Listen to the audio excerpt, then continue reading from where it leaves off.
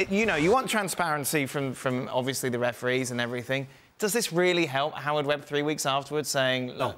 If he'd done it the day after or two days after, Right. Not three weeks. Yeah. no, that's that's ridiculous. right? Absolutely ridiculous. Uh, Frank, would you be happy as a player?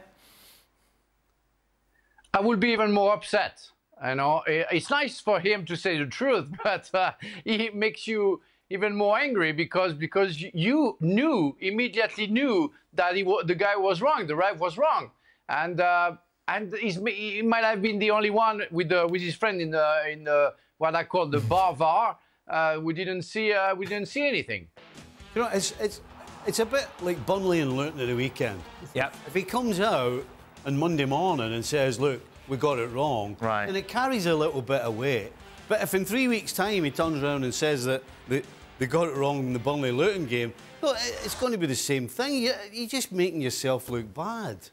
And we've seen it, of course, against Spurs, the offside, and, and this as well. You know, you look at the title race, and I'm sure there are examples of when Liverpool Yeah. have got away with one. But it's intriguing, isn't it, really?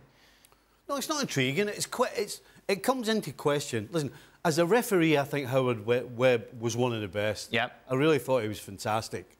But when he's doing this job, you know, when he's making mistakes like this, then you wonder. You know, we always talk about every every occupation. The guy at the top, how he acts, it filters down. Now his his team are making mistakes, and he's making mistakes. So at the end of the day, he carries the can. So, I mean, he's got to watch his back. As a player, you accept that the referee's going to make uh, mistakes, right? That, that's just kind of part and parcel of being human, in all honesty.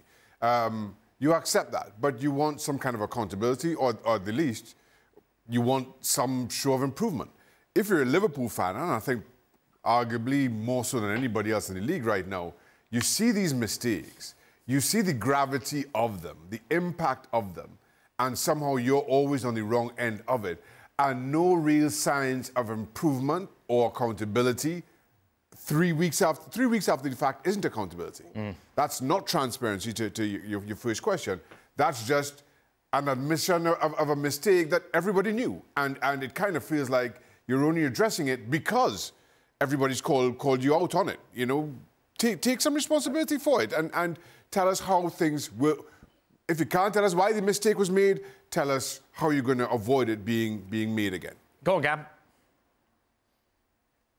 No, I, I just want to just stick up. I, I think it is accountability to to admit your mistakes. Three weeks is, I, I agree, is ridiculous. But um, and I wish somebody had asked them, "Hey, Howard," because you know what? After three weeks, it would have been easier just to say nothing, right? Um, because nobody's talking about this anymore. We've moved on. Yeah. Um, so.